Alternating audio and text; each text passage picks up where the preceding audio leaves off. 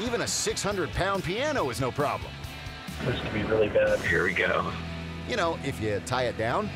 Oh,